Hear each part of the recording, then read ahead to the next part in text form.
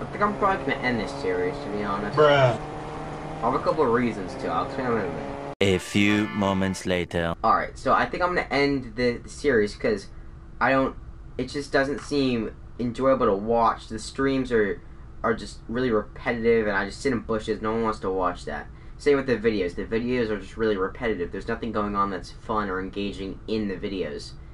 They're they're all just the same thing over and over and over and over again, and that that's just not fun to watch.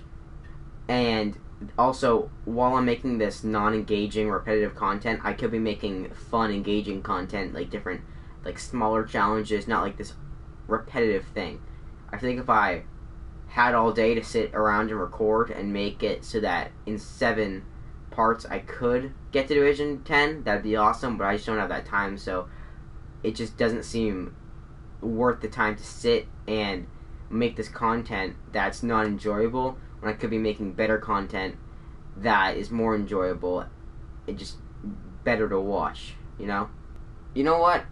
If I actually have to finish this, I have to go get a kill, don't I? I have to kill someone to officially end the challenge, so let's go get a kill real quick. Hello there. Okay, what? I'm just, I'm just too good. I'm literally just too good. Get danced on, Sweat. You're literally just trash. Look at this. You are literal trash. You are trash. This man was a bot.